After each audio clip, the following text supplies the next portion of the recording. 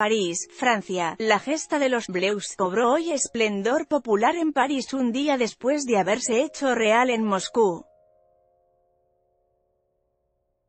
Los campeones del mundo comprobaron el fervor que ha provocado en Francia su logro en el Mundial, aplaudido por cientos de miles de personas en los campos elíseos camino del Palacio Presidencial. Antes de recibir la felicitación del presidente, Emmanuel Macron, en nombre de toda la nación, fue una parte importante la que les aclamó, como 20 años antes hicieron con sus antecesores. Los Griezmann, Mbappé y compañía recibieron el mismo baño de masas, en el mismo escenario que se llevaron en 1998 la tropa de Zidane y de Silly. El nexo entre ambos equipos triunfantes fue Didier Deschamps, capitán entonces, seleccionador ahora, convertido en icono de una nación que gana, por encima de las formas, de un deporte en el que el fin, casi siempre, justifica los medios jugadores de la selección de Francia durante su desfile de campeón en París, AFP signo de los tiempos que corren, en los que la seguridad ha cobrado un espacio cada día más importante, sobre todo en un país machacado por él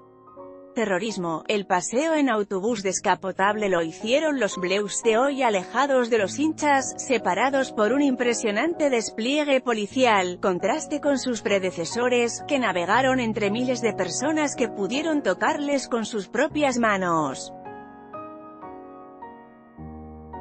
Fue por ello un desfile deslucido, algo frío ante miles de personas que habían aguardado horas y horas bajo un sol de justicia para poder aclamar a sus héroes, sin importar el enorme retraso acumulado porque la fiesta nocturna en Rusia había acabado demasiado tarde. Jugadores de Francia en su visita con el presidente de Francia. AFP no fue por ello menos impresionante para los Bleus, que perdían su vista desde lo alto del autobús y no dejaban de ver miles de caras felices, de banderas tricolores al viento, de escuchar voces que aclamaban sus nombres, que ensalzaban su logro. La mitad del ancho de la avenida estaba tomada por la pasión de aficionados que no pararon de gritar, azuzados desde el autobús por los jugadores, vestidos con una camiseta especial para la ocasión, con dos estrellas, que no pararon de cantar y agitar las bufandas de la selección y a mostrar el trofeo logrado. Las bengalas rojas, azules, blancas tiñeron de colorido el recorrido, igual que la patrulla de Francia, a la formación de aviones de acrobacia del ejército galo que dibujaron en los cielos la bandera francesa.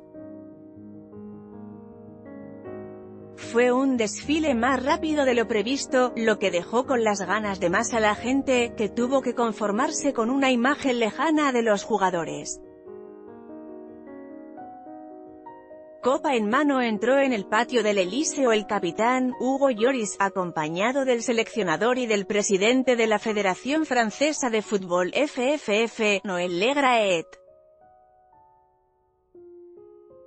Jugadores de Francia celebrando el título con sus aficionados, AFP Macron, que de costumbre recibe en la escalera a los invitados más importantes, descendió incluso al patio para abrazar, uno por uno, a los 23 futbolistas y a los miembros del cuerpo técnico, antes de que todos juntos posaran en las escaleras para la foto de familia que estuvo acompañada de cantos de los futbolistas, el último de ellos la marsellesa. Brigitte Macron insistió en tocar el bigote de Adil Rami, el único de los jugadores de campo que no ha disputado ni un minuto en el Mundial, pero cuyo mostacho se ha convertido en un talismán para el equipo, igual que 20 años atrás lo fue la calva del portero Fabien Barthez. Luego llegaron a los jardines, donde el presidente y su mujer les habían preparado una recepción oficial con más de 3.000 invitados, un tercio de ellos jóvenes jugadores de clubes de formación de las ciudades de origen de los Bleus. Macron les agradeció haber traído la copa y despertar orgullo en la población, no cambiéis, porque este equipo es grande porque está unido. Y no olvidéis de dónde venís, venís de aquí, clamó el presidente señalando a los jóvenes. aficionados de Francia durante el desfile de los campeones, AFP tomó el relevo Paul Pogba, que se enfundó el traje de showman, cantó, hizo cantar a sus compañeros y animó la jornada hasta que los jugadores se retiraron a los salones privados con el presidente y su esposa.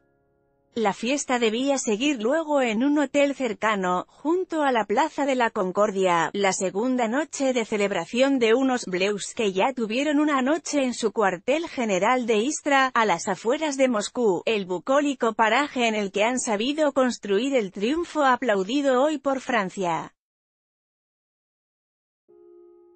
Esta nota incluye información de F en esta nota.